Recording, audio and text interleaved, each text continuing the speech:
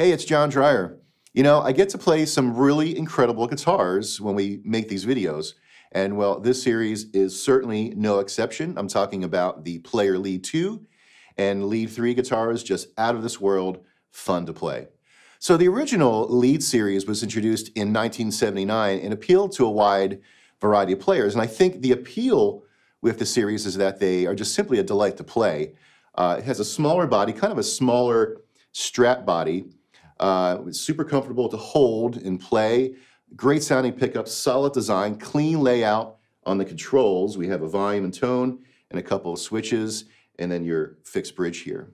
The Lead Series is a great starting point for new players, as well as experienced players who are just looking to add something new and exciting to the collection.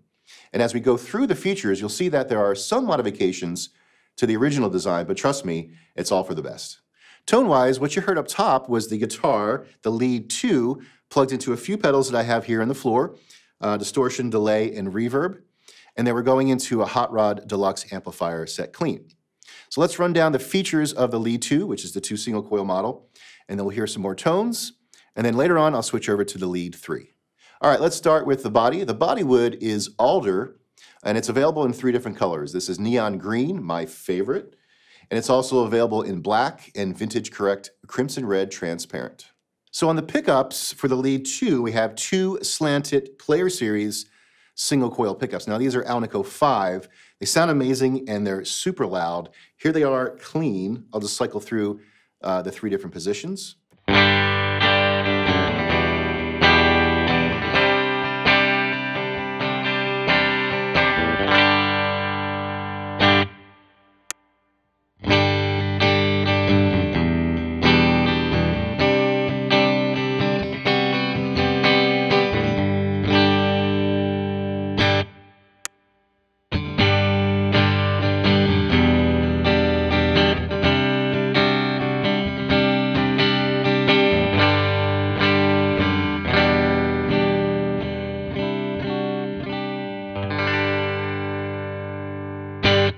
Control-wise, we have a master volume, master tone.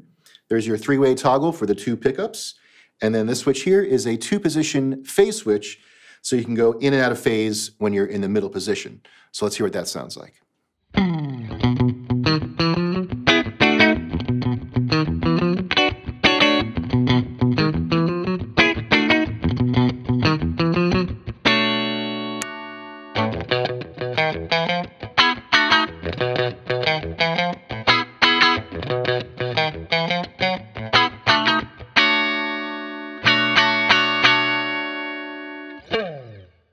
And then on the bridge, we have a six saddle string through body hardtail bridge with block saddles, which just adds to the big full sound of the guitar. And then if I flip this over, you can see that on the back where the strings feed through.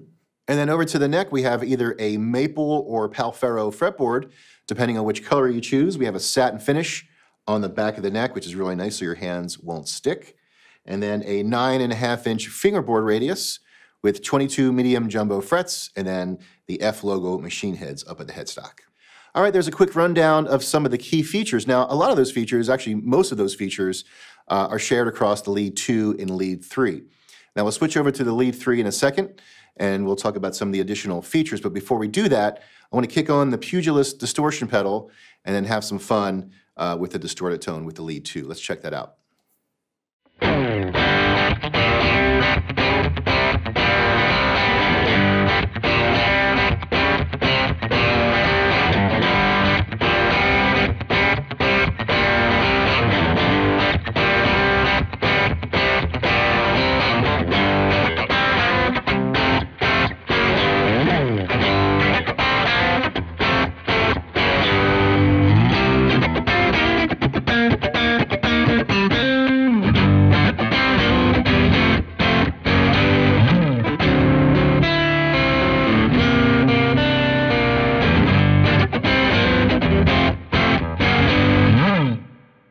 Right, as you can see, I've switched over to the lead three with the double humbucker.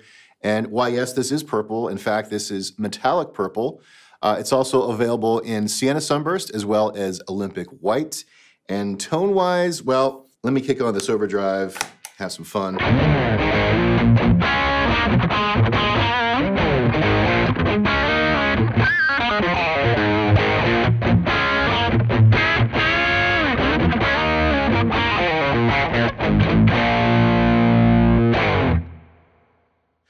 So the specs on the Lead 3, uh, all the same great features as the Lead 2, except for a couple of differences. Now, on the pickups, instead of two single coils, we have two humbuckers.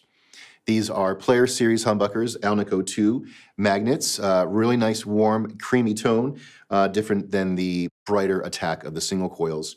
And then we have a different function on the second switch. So instead of the in and out of phase when we're in the middle position of the pickup selector, uh, this switch will uh, split the humbuckers. So in position one of the selector, we can go to the down position and that will split the coil of the humbucker in the bridge.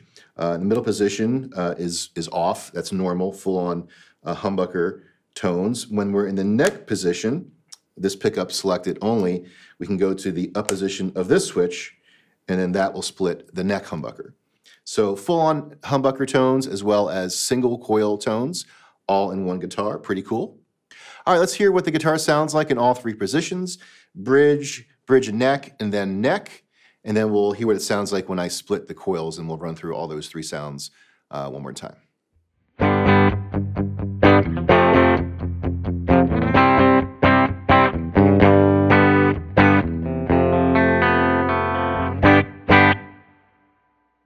Here's the middle position, bridge humbucker and neck humbucker.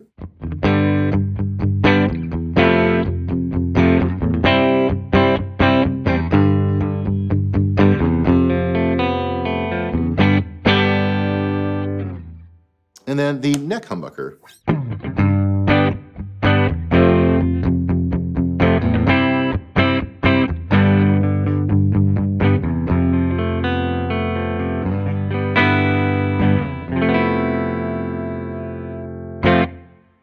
Okay, and then while we're on the neck pickup, if I go to the split position here, so we go from to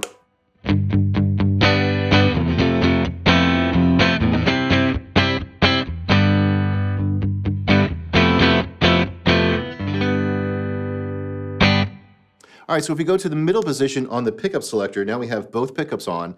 And remember, because I have the neck humbucker split, uh, it's a slightly different tone. So we'll hear that. And if I go back into the full humbucker mode,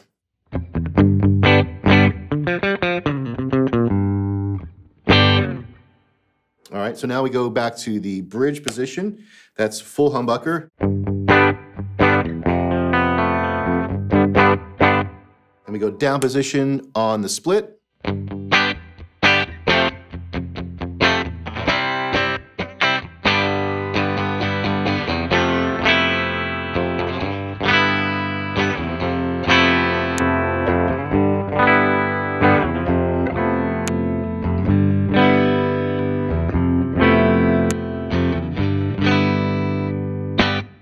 So lots of different tonal options for you there uh, with these two switches, and it sounds great. All right, so a couple of things before we wrap up. One, uh, these guitars, as I mentioned up top, are just way too much fun to play. So you really need to go find one uh, at a local dealer. Check them out, try both models, see which works best for you. And then two, these instruments can work in a lot of different scenarios. So a great first guitar for the beginner, uh, for the experienced player, it's just a fun uh, guitar, something different to add to your collection. Lead tones, uh, rhythm tones for recording on stage, just to have fun at home, jamming with your friends. There's a lot going on with these guitars, both look-wise and tone-wise, so please go check them out. For more information on the Player Lead series, head on over to Fender.com to read all about it. And then stay tuned here for more videos. And as always, thanks for watching. We'll see you.